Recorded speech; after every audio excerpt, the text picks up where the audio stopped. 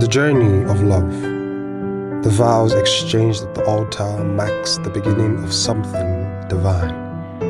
Welcome to After the Altar, where we unravel real marriages. There are no perfect marriages, but they are happy homes. And in this series, you will be meeting some couples, a glimpse into their lives and what is working for them in their marriages.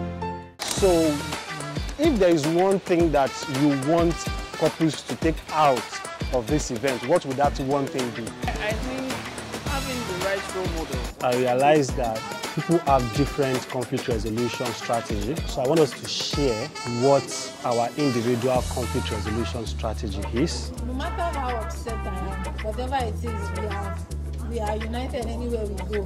The issue is the issue, it's never ever the person. And the devil just is to meeting people that are available to enter. He don't like giving him that